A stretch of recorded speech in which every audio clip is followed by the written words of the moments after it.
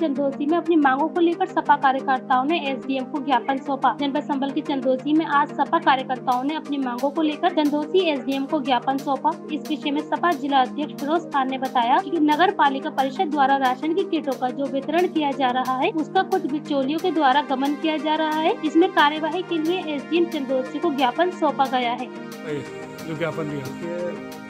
पूरे जनपद में खास तौर से क्योंकि इस वक्त लोग कोरोना वायरस से भयभीत भी हैं और इसके मदद के लिए हमारे स्वास्थ्यकर्मी भी सतर्क हैं इलाज भी चल रहा है। एक खास तौर से जो गरीब है इस वक्त जो सड़कों पर है, मजदूर हैं, अन्य प्रांतों से लोग लौट रहे हैं तो उसके लिए सरकार ने अच्छी व्यवस्था नहीं की। किराया वसूला जा रहा है गरीब से। पैरों में छाले पड़े हैं और किराया कहाँ से दे उसको? लोग परेशान हैं, लेकिन खास तौर से जो सरकार का नारा है, हम घर घर गरीब को राशन पहुँचाएँगे। तो राशन प्रणाली के नाम पर शून्य है सरकार। सारे लोग कहीं नगर पालिका खा रही है, कहीं राशन डीलर खा रहा है तो सख्ती तो हमने कराई है, क्योंकि हमारे डंडे में जान है। समाजवादी पार्टी, इसको लेकर माननीय राष्ट्रीय अध्यक्ष श्री अखिलेश यादव जी हमारे पूरी निगाह रखे हुए हैं। हम चाहते हैं कि इस वक्त जो गरीब परेशानी से जूझ रहा है, जो बेचारा गरीब पैदल चलते हुए मर रहा है, अपनी जान गंवा रहा है, उसको लाभ नहीं मिल रहा है, उसको मुआवजा नहीं मिल रहा तो हम पूरी निगाह समाजवादी के लोग रखे हैं हम लोग अपने पास से मदद कर रहे हैं। गरीब कोई भूखा न सोए, किसी के पास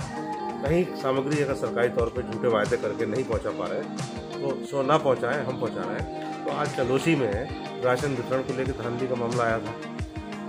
सरकार की तरफ़ से विदाउट जो राशन कार्ड वाले हैं, उनके लिए किट देने की बात थी तो नगर पालिका के सभासदों ने शिकायत की, हमारी पार्टी के किट गरीबों तक नहीं पहुँच रही, सारी नगर पालिका खा रही है और मंत्री लोग खा रहे हैं। तो उसके लिए आज एस डी एम से हम लोग मिले परसों एस डी एम से मिले कल इंदौर भी मिलेंगे हम। तो हम चाहते हैं कि गरीब को उसका हक मिले। सरकार ऐसे टाइम पर तो कम से कम उनका साथ दे ही दे। भले ही उसका मतलब निकल गया हो, सरकार ने वोट हासिल करके। पूरा जुल्म की इंतहा कर दी हो। ऐसे समय में भी जब देश और प्रदेश महामारी से जूझ रहा है, हर आदमी घर में कैद है, कारोबार नहीं है, लोगों के पास खाने को नहीं है तो ऐसे टाइम पे भी ये अगर इस तरीके की घटिया हरकतें करेंगे लोग और सरकार उसमें हस्तक्षेप नहीं करेगी ढंग से, खाली हवाई फायर करती रहेगी तो उससे क्या फ़ायदा है? तो इसलिए जनता को उसका अधिकार मिले, गरीब को पेट तक उसका अन्न पहुँचे, खाना पहुँचे। हमारी यही प्राथमिकता है समाजवादी तो इसलिए हमने एस को आज ज्ञापन दिया है। अगर इसमें सुधार नहीं हुआ तो फिर और भी कुछ सोचेंगे।